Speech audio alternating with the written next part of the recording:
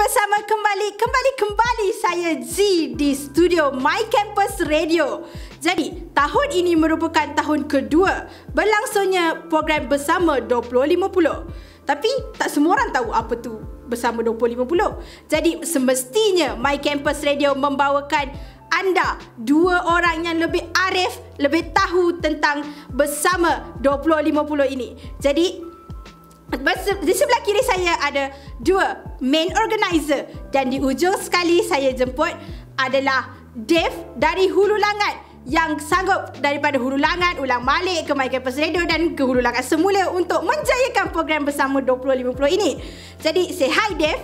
Hai. Seterusnya, dijemput khas dari negeri di bawah bayu. Si kecil manis kadang-kadang orang tak nampak pun kehadiran dia. Tetapi dengan adanya kecil-kecil cili padi ini, semarak bersama 2050 makin terasa. Jadi ini adalah Miss Lovely sebagai program organizer.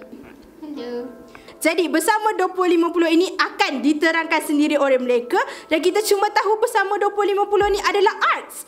Dan apa kaitan arts dengan kemerdekaan? Tak nak cakap banyak. Jadi soalan pertama saya, apa itu bersama 2050? Okay, uh, thank you. Uh, actually bersama 2050 adalah art. Fokus pada art.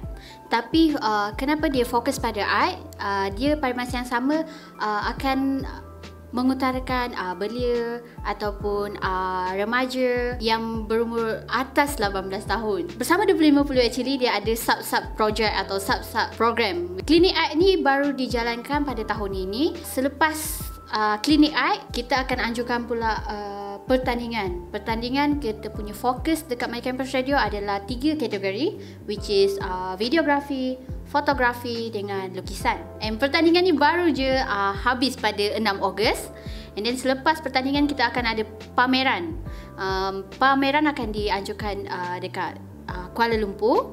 And pada tahun ni kita memilih Berjaya Times Square untuk menjadi main tapak ataupun uh, site untuk kita lakukan pameran ini. Kita akan ada satu lagi sub project which is uh, under mini roadshow. Ini kita akan pick beberapa college atau politeknik untuk kita anjurkan mini roadshow ni di mana kita akan bawa bersama 2050 dan kenalkan kepada mereka apa itu bersama 2050. Bagi ruang dan peluang pada mereka untuk me- menyuarakan pendapat ataupun menyuarakan uh, cerita di sebalik seni yang mereka ada and then uh, mereka lah yang akan mencorakkan apa uh, akan berlaku seterusnya pada uh, 2050 sudah jelas uh, Miss Lovely menerangkan tentang apa itu bersama 2050 okey? Jadi sedikit demi sedikit kita telah membuka mata yang kabur untuk mengetahui atau men- memahami apa itu bersama 2050 jadi kita tahu ya, bersama 2050 kali ini merupakan edisi kedua ataupun tahun kedua berlangsungnya um, bersama 2050 jadi kita tahu sebelum ni atau tahun lepas adalah bersama 2050 edisi pertama dan kita tahu juga tahun lepas masih dalam keadaan pandemik. Jadi bagaimana dilaksanakan bersama 2050 di dalam keadaan pandemik? Silakan. Pada tahun lepas uh, kita menganjurkan uh, pertandingan kami secara online.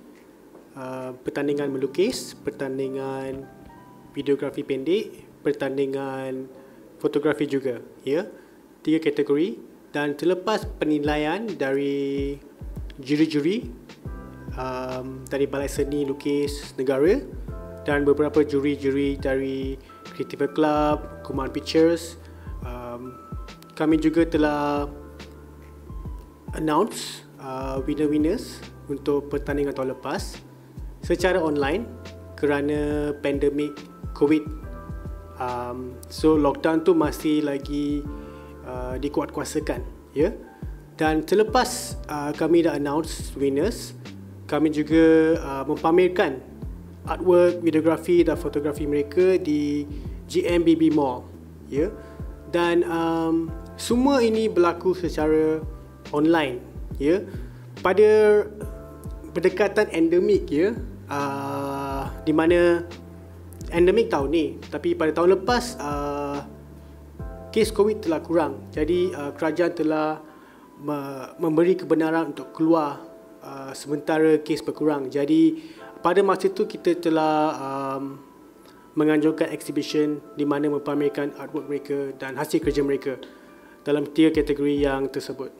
Okey, jadi kita masih um, kagum dengan keadaan walaupun dalam keadaan pandemik COVID-19 tapi masih boleh bersama 50 2050 dilaksanakan.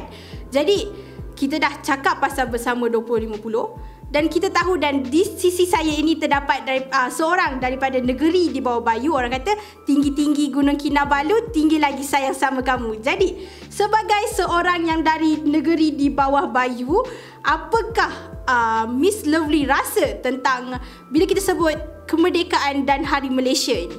Okay, thank you.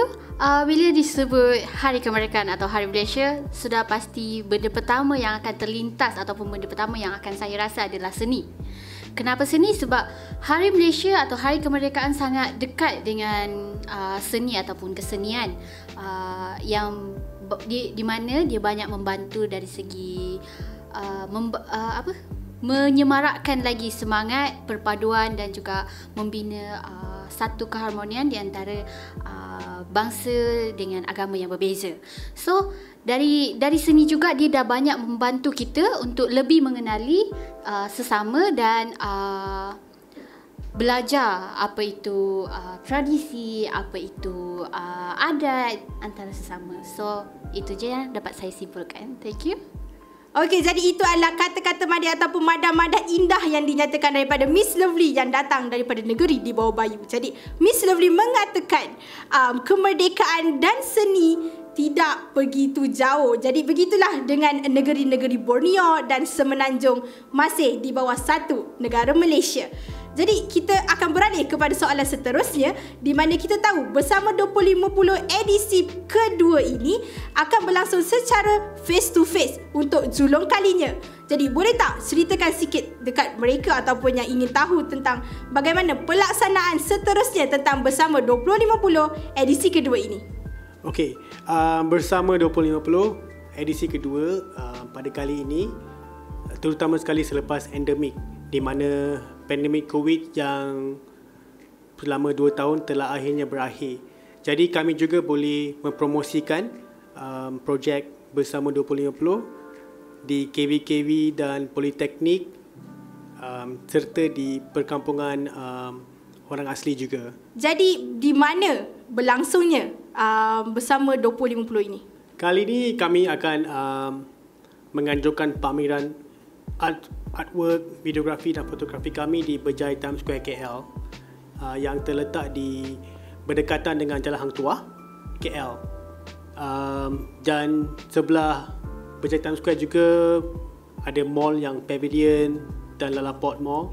Uh, jadi Berjaya Times Square memang di tengah-tengah hati KL. Macam yang kita dengar tadi Dave kata orang kata hati Kuala Lumpur. Jadi um, boleh kita kata Berjaya Times Square ni berada betul-betul di tengah-tengah. Dan saya dapat tahu um, Berjaya Times Square juga berdekatan dengan MRT Pavilion. Jadi tak ada lagi alasan untuk mereka yang tak ada transport untuk datang ke um, pameran seni ini.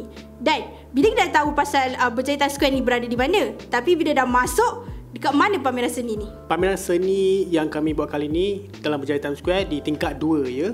Um, atas GSC uh, GSC uh, Movies. Seterusnya, kita nak tahu bila berlangsungnya pameran seni ni. Pameran kami akan berlangsung dari 29 Ogos sehingga 18 September masa yang sangat lama dan masa yang lama mestilah akan diisi dengan program-program yang menarik. Jadi apa program-program yang um, bersama 2050 anjurkan? Kami menganjurkan um, fotografi workshop, pertandingan warna untuk kanak-kanak.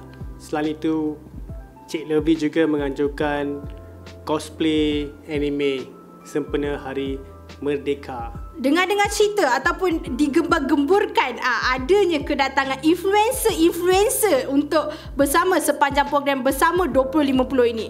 Dan ialah kita tahu bagaimana tarikan influencer dengan anak muda ni. Anak muda lebih tertarik kepada influencer daripada artis-artis Malaysia sekarang. Jadi, boleh cerita sikit siapa yang hadir, influencer-influencer yang hadir untuk bersama 2050 ni? Okay, thank you. Uh, actually, influencer pada kali ini uh, detail ataupun identiti mereka dirasa dirahsiakan ataupun menjadi secret untuk para penonton disebabkan menghormati kreativiti ataupun uh, cara untuk mereka mempromosikan uh, program bersama 2050 kali ini. And then uh, sedikit sebanyak bayangan ataupun clue yang boleh saya berikan adalah mereka-mereka yang menjadi uh, influencer untuk program bersama 2050 kali ini adalah mereka yang dah biasa melakukan uh, program iklan televisyen ataupun uh, iklan-iklan produk yang lain. Dan mereka juga terdiri daripada golongan-golongan yang dah biasa dengan uh, content creator. And then uh, itu sajalah. Thank you So bersama 2050 pun dah ada mengatakan mereka menyatakan um, surprise ataupun tak boleh bagi tahu rahsia. Ha, jadi kita sebagai uh, orang-orang biasa mesti kita macam tanya sebab kita tahu orang Malaysia ni memang suka kas surprise. Jadi mesti orang lain nak tahu kan siapa influencer-influencer tu. Tapi tak apa sebagai menghormati program bersama 2050 jadi sama-sama kita saksikan nanti siapa influencer yang hadir untuk program ini. Jadi saya dapat tahu yang bersama 2050 ni dah berlangsung sebulan yang lalu untuk edisi kedua ini iaitu boleh kita katakan program Clinic Art. Jadi apa sebenarnya Clinic Art ni? Adakah program bersama doktor-doktor sebab kita tahu dia klinik kan? Dan di mana dia berlangsung? Mungkin di klinik ataupun di tempat lain. Jadi saya nak tahu apa kaitan Clinic Art dengan art dan kemerdekaan. Jadi boleh ceritakan sikit apa itu Clinic Art? Tujuan kami membuat Clinic Art adalah untuk mengajak anak-anak muda terutama sekali pelajar-pelajar dari sekolah kebangsaan tersebut untuk express diri mereka melalui art. Okey, jadi uh, kita tahu klinik art tu berada uh, atau berlangsung di sekolah kebangsaan jauh juga kira macam luar bandar lah kan. Betul kan sekolah di luar bandar. Jadi sangatlah menarik pada saya sebabnya macam dia mengenengahkan ataupun bakat-bakat um, anak-anak muda di sana cakap pasal anak muda dan tak pernah lepas daripada mulut mereka tadi adalah perkataan anak muda, remaja, seni dan kemerdekaan. Jadi, kenapa anak muda melukis? Pentingnya melukis pada anak muda. Sebab uh, bila kita nak melakukan sesuatu, kita belajar uh, menulis. So, menulis boleh dikatakan salah satu art juga. So boleh dikatakan mereka dah belajar uh, seni ni daripada awal. So mengapa orang tak uh, tak proceed dengan melukis tu juga?